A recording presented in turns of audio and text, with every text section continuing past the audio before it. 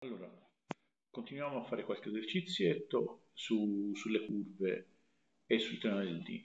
Quindi, per esempio, trovare il vettore tangente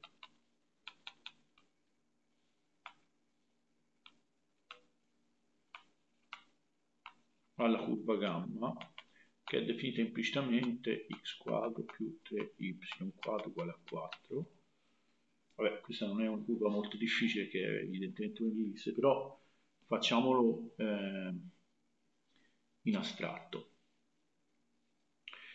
Eh, se esiste ma abbiamo già chiarito che questo esiste e eh, scrivere.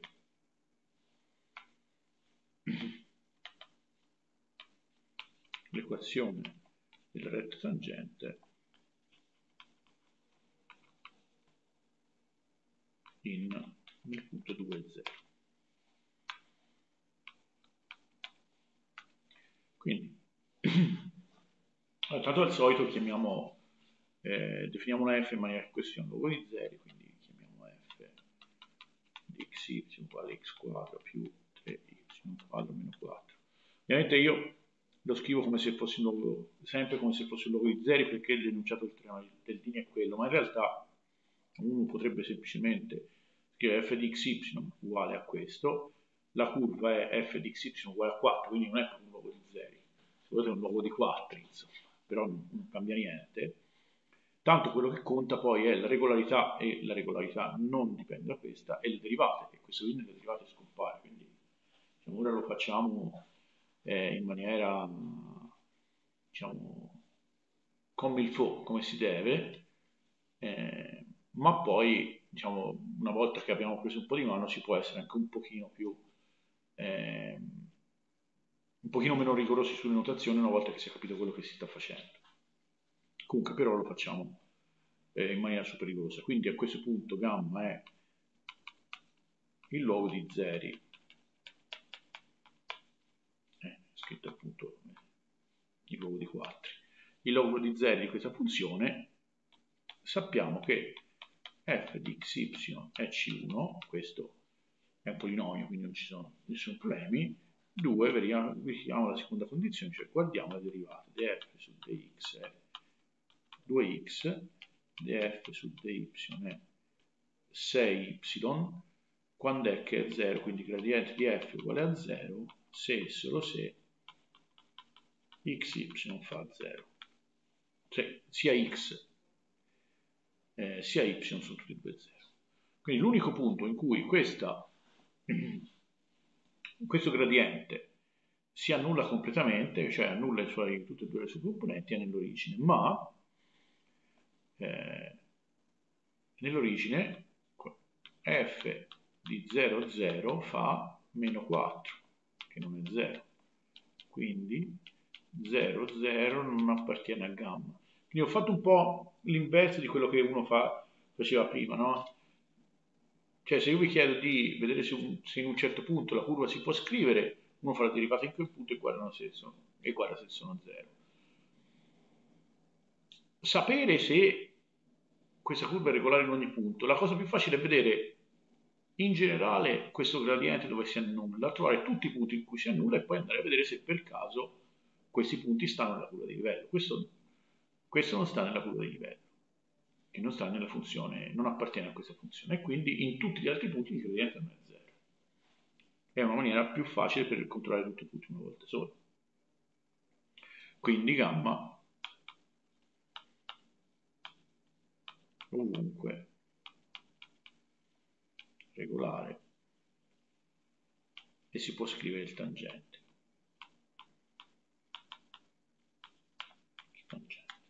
Come si fa a scrivere il vettore tangente? Allora, per esempio, può, prendiamo un punto nel punto x con 0, prendiamo, fissiamo per fissare le idee.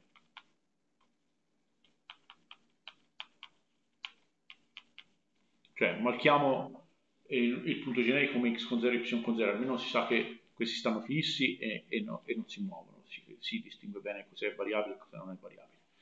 Allora, vediamo cosa succede se f y di x con 0, y con 0 è diverso da 0, se non è, quindi nello specifico se y è diverso da 0, ma a questo punto non ci importa. Se questo è diverso da 0, allora vicino a x con 0, y con 0, gamma si scrive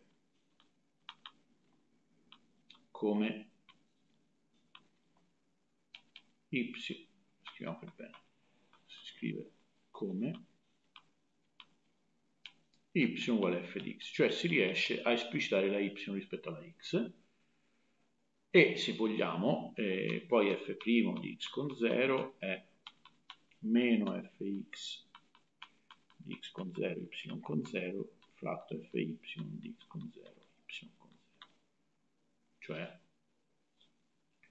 f' di x con 0 quindi sarà meno 2x con 0 fratto eh, 6y0 ok?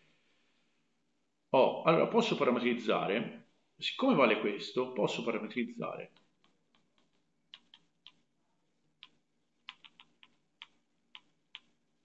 La mia curva gamma come la parametrizzo secondo x. È un grafico di una funzione, quindi la posso parametrizzare come x, f di x. Allora gamma punto, che è il vettore tangente,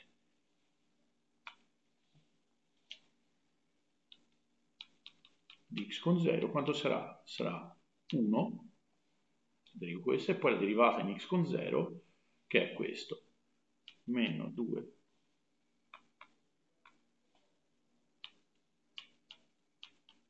con 0 fratto 6y con 0.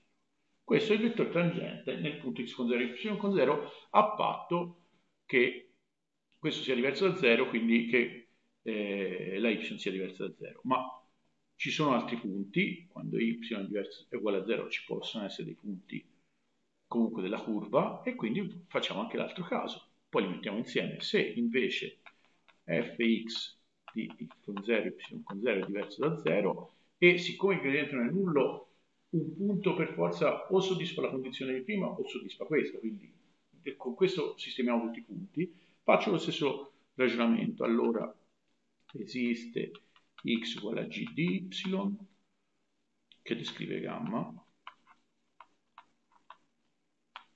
e gamma maiuscolo quindi posso definire beta di y questa volta parametrizzo questa è una g quindi parametrizzo con la variabile y quindi è y g di y eh, parametrizza gamma vicino x con 0, y con 0, quindi beta primo di y, cioè g primo di y nel punto y con 0, 1, cioè g primo chi è? È eh, meno f eh, y, f grande, M, eh, o se volete, sì, meno fy x con 0, y con 0 fratto fx di x con 0, y con 0 di x con 0 chiaro? x con 0, y con 0 1 cioè eh, meno 6y con 0 fratto 2x con 0 1 quindi questo è il vettore tangente nell'altro caso. Ora proviamo a metterli insieme. In definitiva, voglio dire, questi due saranno parenti per forza perché eh, in un punto che ha tutte e due le coordinate diverse da 0 io posso agire in un modo o nell'altro e devo trovare un vettore comunque tangente. Quindi come saranno? Saranno paralleli, ma si vede che sono paralleli perché questo e questo, diciamo, sono, se volete, uno l'inverso, non è proprio l'inverso, però eh, praticamente scambiamo le coordinate, scambiamo il prodotto e mettiamo, Quindi c'è una maniera di scriverli tutti e due nella stessa maniera, cioè se moltiplico questo per 2x con 0, per meno 2x con 0, e moltiplico questo per 6y con 0, ottengo lo stesso vettore. Quindi in definitiva v uguale a fy meno fx, sempre in punto x con 0, y con 0, x con 0, y con 0, cioè 6y0 meno 2x con 0 è vettore tangente. Tangente per ogni x con 0, y con 0, cioè scritto così eh, lo sistemiamo una volta per tutte, questo perché qui no, non c'è problema di dividere, quindi se uno di questi è 0 non importa. Ok? L'abbiamo scritto così. Che se volete si poteva anche vedere perché questo oggetto è il vettore che è ovviamente perpendicolare al gradiente, che avete ottenuto scambiando le coordinate e mettete un meno. C'è un'altra maniera di vederlo. Comunque questo è il vettore tangente, infatti, cioè diciamo è una maniera di scrivere il vettore tangente che va bene per tutti gli x con 0 e y con 0, infatti v è perpendicolare a gamma punto e è perpendicolare a beta punto. Cioè è solo questione di rimoltiplicare per questi 6y con 0 o 2x con 0 a seconda di quale vettore prendete. Notate che questo è un punto, cioè x con 0 e y con 0 li avete fissati, quindi non sono variabili, eh. per questo ho messo i puntini sulle i e ho scritto le variabili. Come, dice, come vi dicevo prima, no, un'altra maniera di vederlo è, scriviamolo così rimane, in, rimane in, eh, insomma, a futura memoria, soluzione alternativa, gradiente di f x con 0, y con 0 è 2x con 0, 6y con 0 e gradiente di f perpendicolare a gamma in x con 0, y con 0 quindi basta trovare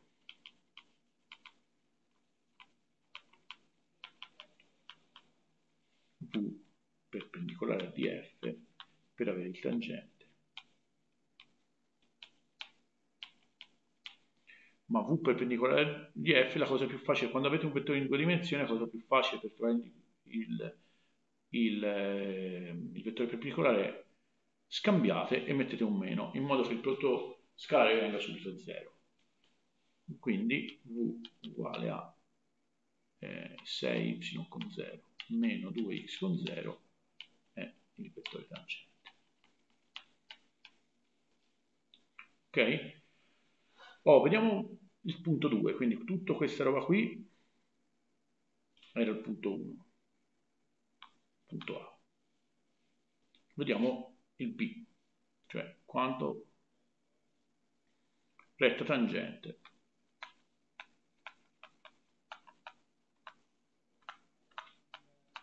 2, 0. Allora, i, i, vettori tangenti li abbiamo già scritti, quindi il vettore v nel punto 2, 0, ovviamente v eh, è un v di x con 0 e y con 0, anche se non ho scritto la, la dipendenza, quindi nel punto eh, 2, 0 viene 0, perché la y è 0, meno 4. v nel punto 2, 0 è 0, meno 4. Allora, retta tangente, retta tangente in forma parametrica eh,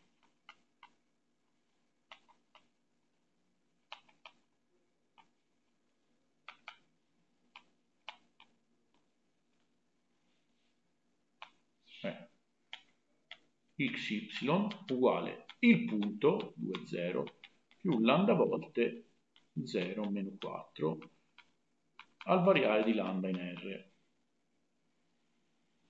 Ok? Ora, come si fa in forma cartesiana? In forma cartesiana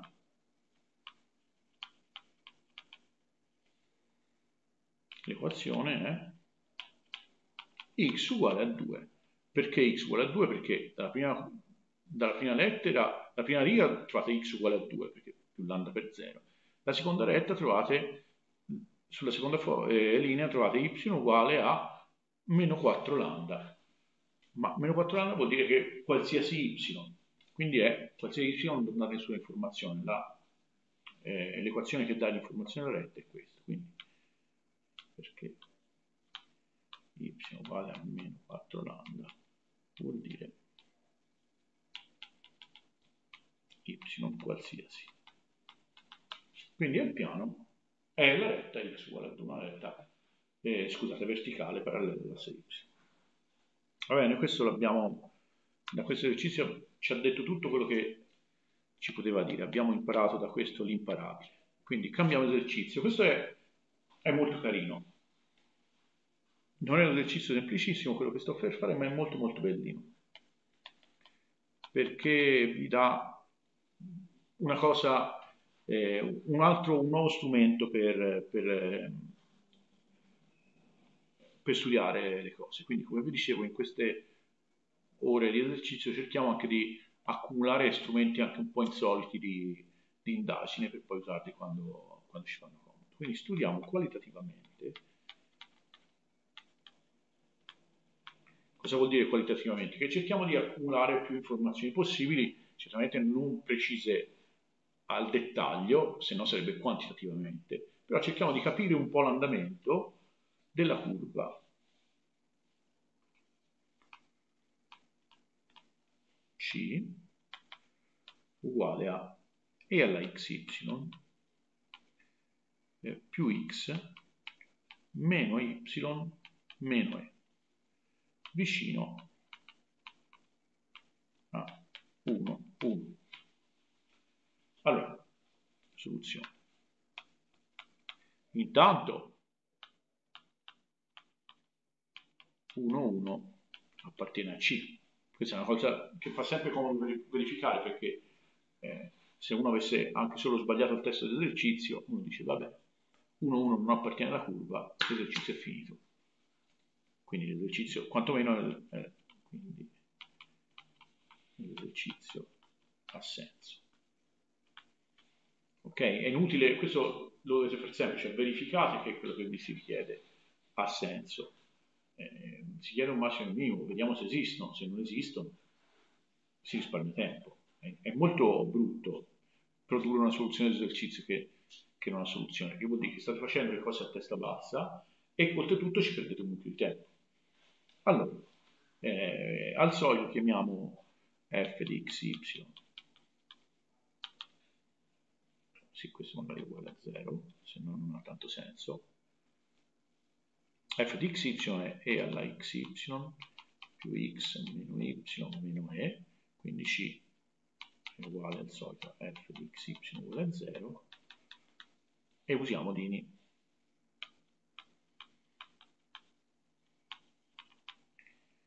Per vedere la tangente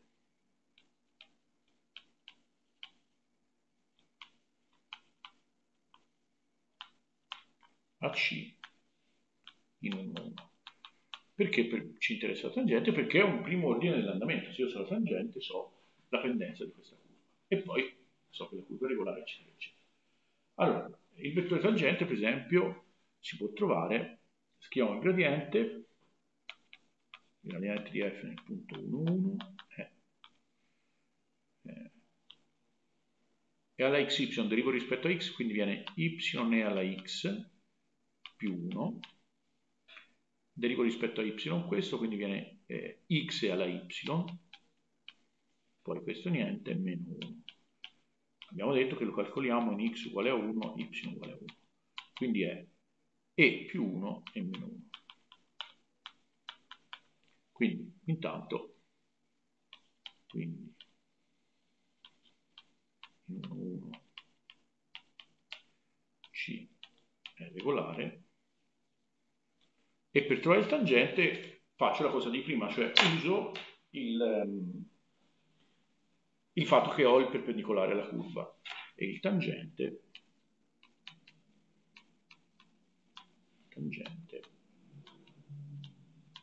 è perpendicolare al df, quindi v sarà 1 meno e 1 più e. Che eh, questo ovviamente è diverso da 0, perché eh, questo numero qui è positivo, per esempio. O cerchiamo un po' di capire come è fatto questa cosa qua. Eh, per quello che ci importa, E sta fra 2 e 3. Diciamo, posso prendere a questo livello per, per, per avere un'idea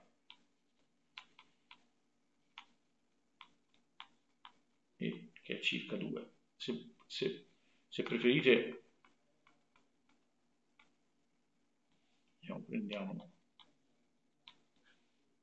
tanto arriva in fondo al, alla cosa, si, si, in fondo alla pagina si scrive male, prendiamo e che è circa 2, un'approssimazione molto grezza, forse non è nemmeno la migliore, la migliore sarebbe 3, ma non ci importa niente, è giusto per avere un'idea, quindi questo lo approssimiamo con meno 2 eh, scusate, meno 1, 3, giusto per fare un disegno qualitativo. È chiaro che l'espressione giusta è questa, ma ora se voglio un, se voglio fare proprio un disegnino e disegnare un grafico, è chiaro che 1 meno e 1 più e in un grafico che faccio a caso non ha tanto senso. Prendiamo questo, cioè un grafico senza con le unità di misura non precise.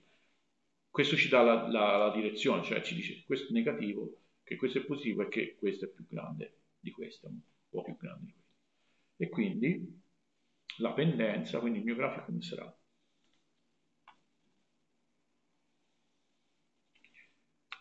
Partiamo dal punto 1, 1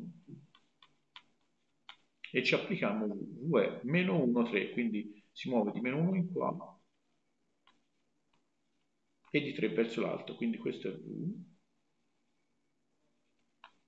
e quindi la retta tangente è questa qui. Questa è la tangente AC in 1, 1. Quindi ad esempio cosa si può vedere?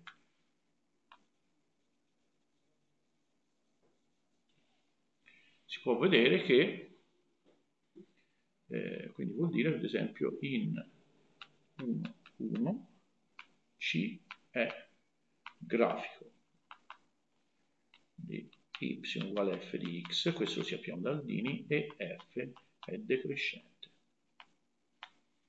Perché? Perché la tangente è, è messa in direzione di v, ok? Quindi la curva farà così, così, non so come l'attraversa, ma è tangente. Un'altra maniera di vederlo, ovviamente, alternativa potevo scrivere y' di x come meno f, eh, diciamo y' nel punto 1 era meno fx di 1, 1 diviso fy di 1, 1. Quindi andate a riprendere questo, era eh, e meno 1 diviso e più 1 cambiato di segno, cioè 1 meno e diviso 1 più e, che è minore di 0 perché è più grande di 2. E quindi, e quindi y di x di nuovo decrescente.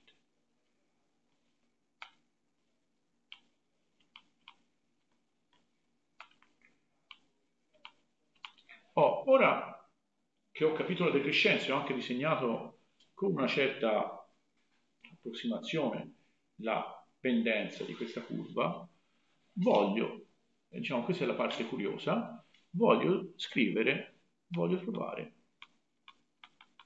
voglio capire, diciamo, la concavità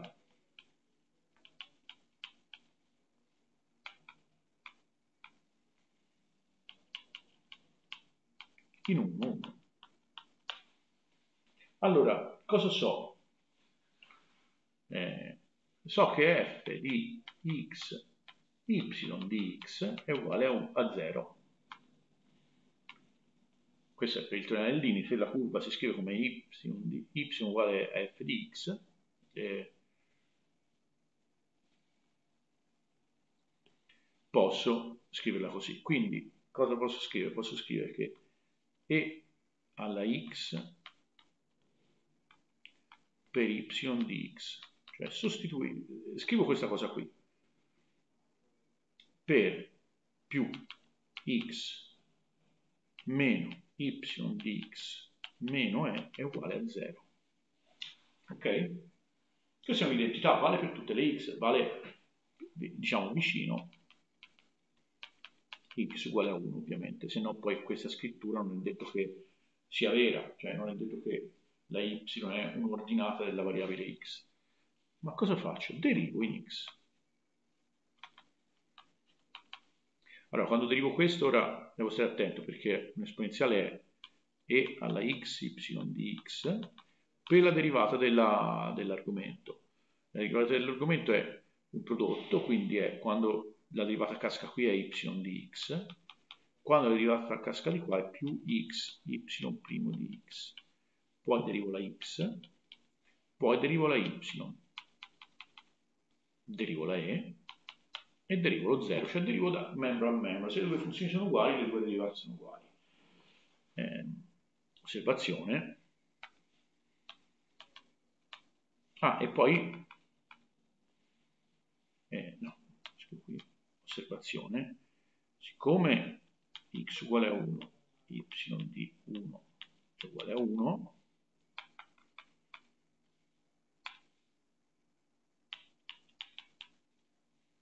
cosa ottengo? Ottengo che E per 1 più y' di x più 1 meno y' di x uguale a 0 e meno, scusate, sto valutando in 1 più 1 meno y' di 1 uguale a 0 e da qui e potevo ricavare da qui. La cosa di prima y' di 1 uguale a 1 meno e diviso 1 più. Quindi è una terza maniera di trovare la derivata prima in 1 va bene ma questo non mi interessa.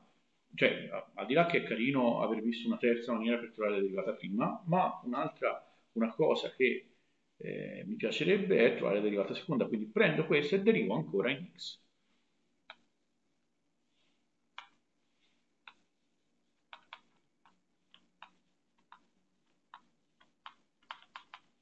Allora, qui ho la derivata di questo mi ridà un altro argomento di questo tipo qui, quindi è e alla x y per questo, quindi ho un termine che è questo per questo al quadrato. Poi questo è un prodotto, quindi deriverò, lascerò questo e derivo questo, che mi dà y', un altro y' qui, quando la derivata casca qui, quindi un 2y' più x y secondo. 1 scompare, meno y secondo. Quindi ho, ottengo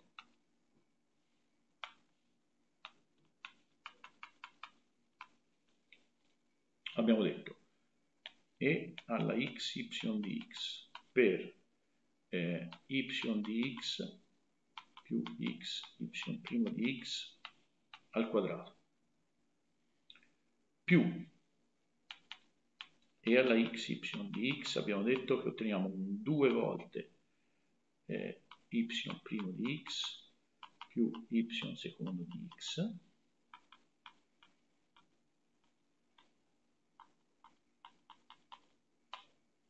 poi un meno y secondo di x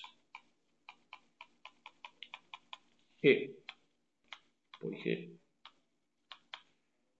quando x è uguale a 1, y di 1 è uguale a 1 e y' di 1 è 1 meno e diviso 1 più e, ottengo e per 1 più eh, 1 meno e diviso 1 più e al quadrato più e per 2 per 1 meno e.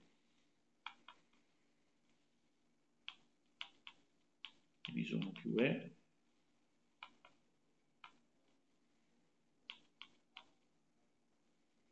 Più y secondo. Nel punto 1, quindi sostituiamo un x uguale a 1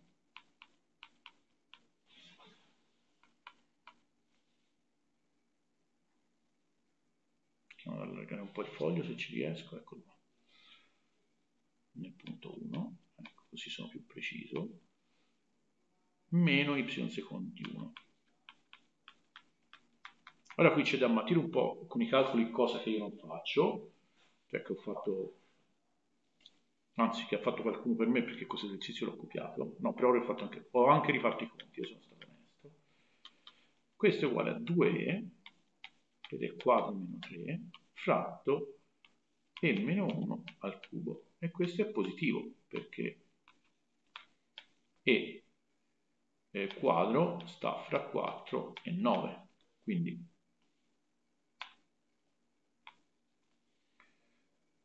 Quindi questo è più grande di 4, questo è positivo, questo è più grande eh, di 2, quindi questo è positivo, e è positivo, quindi questo è positivo. Quindi la funzione y di x è convessa in x uguale a 1. Convessa e decrescente e abbiamo un altro eh, convessa o diciamo usiamo quello, il termine in cui siete più familiari, a concavità verso l'alto per x uguale a 1. Quindi ora possiamo diciamo, migliorare il disegno di prima, perché avevamo 1, 1, avevamo la retta tangente, come l'avevo disegnata, in che colore l'avevo disegnata? in giallo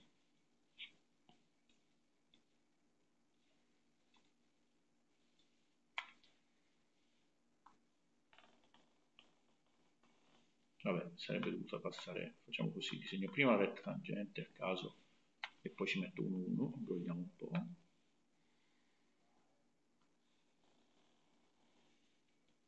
magari anche un pochino più dritta. Eccoci qua. Qui c'è il punto. 1, 1, così chi vede il pdf penserà che sono stato precisissimo a disegnare, così imparate a non seguire le lezioni, disegniamo la curva C alla concavità rivolta verso l'alto, quindi vuol dire che sta tutta sopra questa retta tangente, quindi è fatta più o meno in questa maniera. Questa è la curva C.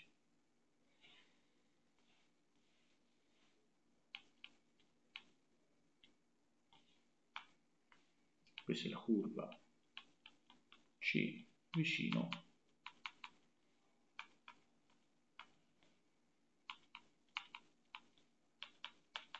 il punto 1, 1. Ok, quindi diciamo eh, qual è la morale di questo esercizio?